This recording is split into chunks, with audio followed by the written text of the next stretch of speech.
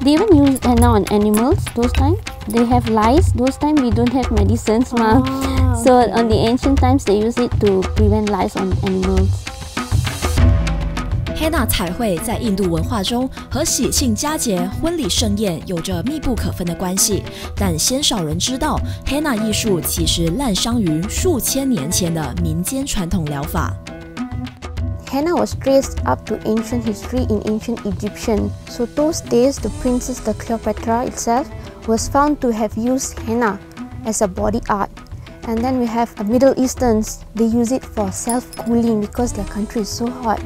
For dandruff hair, for fingers you can use to cure cuticles fungal. Some people uh, those days even use it for skin rashes. You know, those kind of mild eczema, they just take the leaves, they just blend it and just put it on top.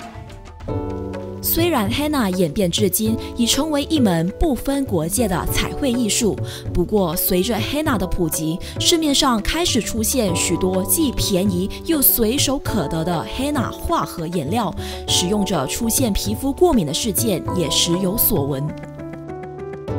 When I was young, I used to draw henna on my friend. But those times, I just buy the ones from the supermarket. So one day, I had rashes. So from there, I've decided that I need to learn more about this. Why is why is this happening? Because it's written natural henna on the cone. So as time go by, I've started learning about henna. So it has become like a hobby that people are calling me, can you do henna for me? Can you do henna for me? So it has been like a good thing and I like it. So I've transitioned from what I was doing, a professional background, to doing henna.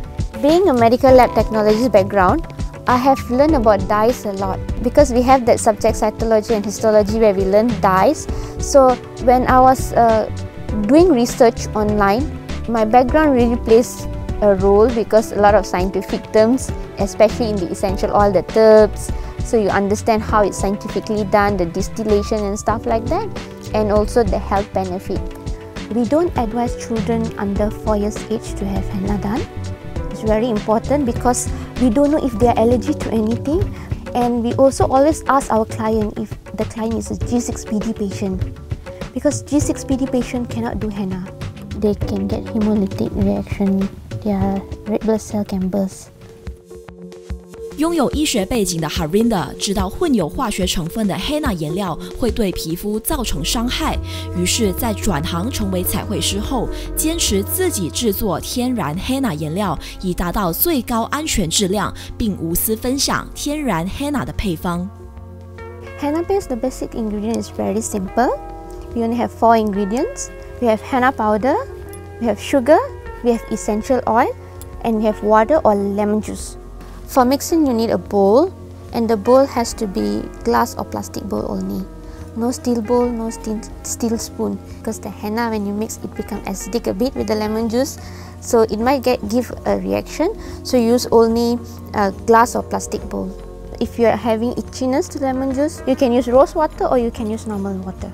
But the essential oil, we only can use few essential oils, which is uh, lavender, tea tree, eucalyptus, and kajaput oil. Natural henna is prepared um, and it cannot be stored on the shelf. Means you go supermarket, you cannot simply buy it.